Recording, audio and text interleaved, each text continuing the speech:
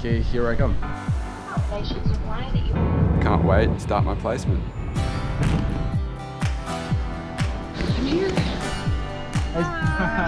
This is going to be a fun year, guys.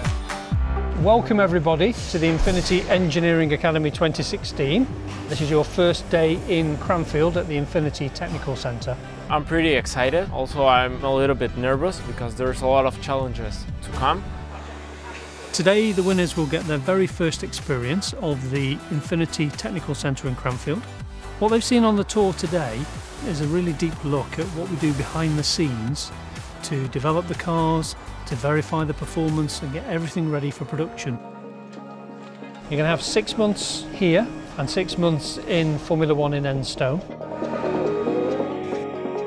We're at the Enstone Formula One facility in Oxfordshire, welcoming the winners of the 2016 Infiniti Engineering Academy. Real pleasure to meet you all together and to have you here. Just to go from a CFD lab with a supercomputer to a driver in the loop simulator, seeing that in real life and seeing the people at work, it's just unreal. It's really a unique opportunity for them to be immersed in two aspects of the automotive business. I'm very, very excited. Can't wait to get my hands dirty.